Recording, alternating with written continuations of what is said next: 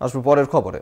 সিকিমের প্রাক্তন শিক্ষামন্ত্রীর দেহ উদ্ধার। তিস্তা নদী থেকে উদ্ধার করা হয়েছে তার দেহ। ছয় জুলাই থেকেই নিখোঁজ ছিলেন। রামচন্দ্র পদুয়াল, প্রাথমিক অনুমান করা হচ্ছে যে তিস্তার জলে ভেসে গিয়েছিলেন তিনি। সিকিমের প্রাক্তন শিক্ষামন্ত্রী তারই দেহ উদ্ধার করা হয়েছে। তিস্তা নদী থেকে তার দেহ উদ্ধার করা হলো। সিকিমের প্রাক্তন শিক্ষামন্ত্রী তারই দেহ উদ্ধারের ঘটনা তিস্তা নদীতেই তিনি ভেসে গিয়েছিলেন, এমনটি কিন্তু প্রাথমিকভাবে অনুমান করা হচ্ছে। গত ছয় জুলাই থেকে তিনি নিখোঁজ ছিলেন। রামচন্দ্র পদুয়াল তিনি নিখোঁজ ছিলেন এবং তারপরেই তিস্তা থেকে তার দেহ উদ্ধার করা হয়েছে।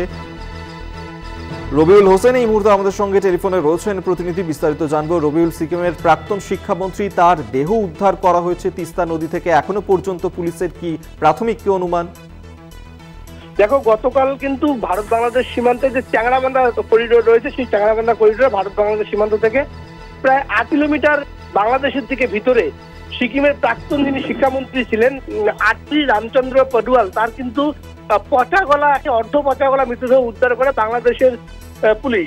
তার পরবর্তীতে কিন্তু যেহেতু বাংলাদেশের আট কিলোমিটার ভিতরে দেহটি পাওয়া গেছে তাই প্রাথমিকভাবে স্থানীয় যে বাংলাদেশের পুলিশ ফাঁড়িয়েছে সেখানে খবর দেওয়া যায় এবং পরবর্তীতে যখন বাংলাদেশের পুলিশ বিষয়টি জানতে পারে যে এই দেহ তাদের দেশের কোনো বাসিন্দাদের নয় তৎপরাৎ আহ, কিন্তু একেবারে বিজেপি এবং বিএসএফ এর মধ্যে উচ্চ পর্যায়ের বৈঠক হয় এবং পরবর্তীতে গভীর রাতে সেই টাংরাবান্ধা করিডোর দিয়ে কিন্তু সেই যে সিকিমের প্রাক্তন যে শিক্ষামন্ত্রী রয়েছেন তার কিন্তু দেহ হস্তান্তর করা হয়। এবং যেহেতু দেহটি একেবারে অর্ধ পচাগলা অবস্থা ছিল তাই বুকের একদম গোটা শরীরের বিকৃতি ঘটেছে কিন্তু তার হাতে থাকা একটি হাত ঘড়ি থেকেই তার বাড়ির লোকেরা কিন্তু চিনতে পারে যে এটি তাদের সেই বাড়ির লোক অর্থাৎ প্রাক্তন শিক্ষামন্ত্রী সিকিমের আদ্রি রামচন্দ্র পডুয়াল এই আদ্রি রামচন্দ্র পডুয়াল উম, যিনি সিকিমের কিন্তু ছোট সিংথাম এলাকার বাসিন্দা ছিলেন এবং তিনি গত ছয় জুলাই থেকে নিখোঁজ ছিলেন এমনটাই কিন্তু জানা যাচ্ছে। কারণ গত ছয়ই জুলাই তার পরিবারের লোকেরা স্থানীয় পাকিয়াং থানায় কিন্তু তার একটি নিখোঁজ থাকার ব্যাপারে অভিযোগ ডায়েরি করে।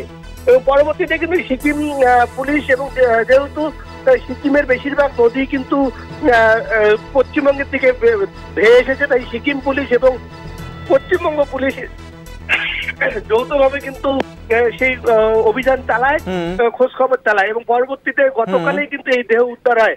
ইতিমধ্যে কিন্তু পরিবারের কাছে সেই দেহ হস্তান্তর করা একেবারেই হয়েছে। তোমাকে একেবারেই। জানিয়ে রাখি- আমিও ধন্যবাদ জানাব তোমায়। রবিউল হোসেন আমাদের সঙ্গে টেলিফোনে ছিলেন প্রতিনিধি। আপনাদেরকে আরেকবার জানিয়ে রাখি ছয় জুলাই থেকেই নিখোঁজ ছিলেন রামচন্দ্র পদুয়াল এবং তার দেহ উদ্ধার করা হলেও তিস্তার জলে ভেসে গিয়েছিলেন তিনি। এমনটাই কিন্তু প্রাথমিকভাবে অনুমান করছে পুলিশ।